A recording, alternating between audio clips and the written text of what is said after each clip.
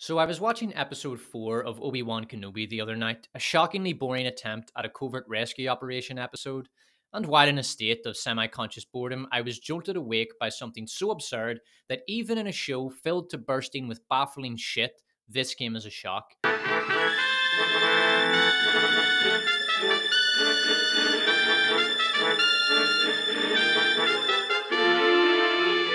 Yes, a small woman overpowering two professional soldiers by slapping one of them, then turning to the other and pulling on his armor before easily taking an unsecured blaster off one and shooting them both.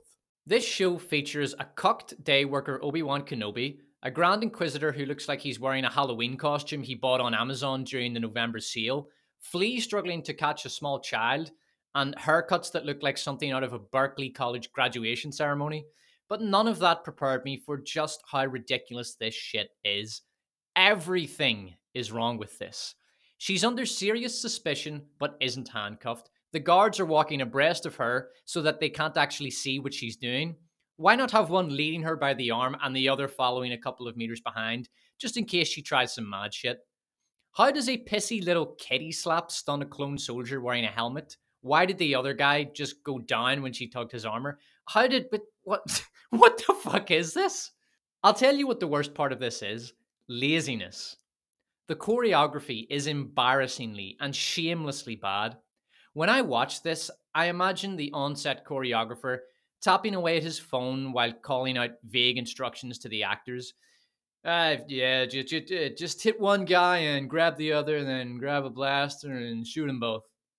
The worst George Lucas Star Wars movie had choreography that looked like this.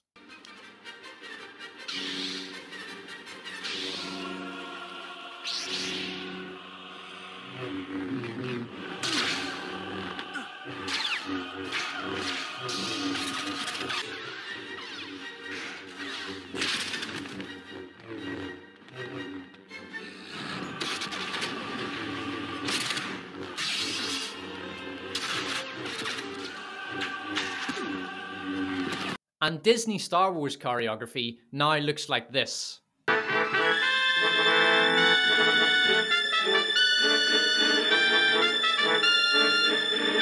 This is utterly pathetic. It's honestly a level of quality I would expect to see from a Star Wars fan movie made by a bunch of freshman film studies students. And yet, if you're a woke Lucasfilm showrunner, this makes sense. Women overpowering far stronger men in Hollywood movies is now so common that woke showrunners no longer think of it as odd. If anything, it's natural. This is what you get when you have three movies fronted by Mary Sue Skywalker, and when Hollywood has for years now been churning out hardcore feminist garbage in which small women easily beat the shit out of guys literally twice their size. Now, I know what woke defenders of this crap will say, uh, actually, Tala dies in the next episode. See, she's not a Mary Sue, and Disney aren't afraid to show women losing. Racist! Right, so how does Tala die? It literally takes a full fucking squad of stormtroopers just to wound her. They fail to kill her. Oh, and look who's leading the squad. That's right, a strong, powerful, diverse woman of color. And even then, Tala still kills most of them.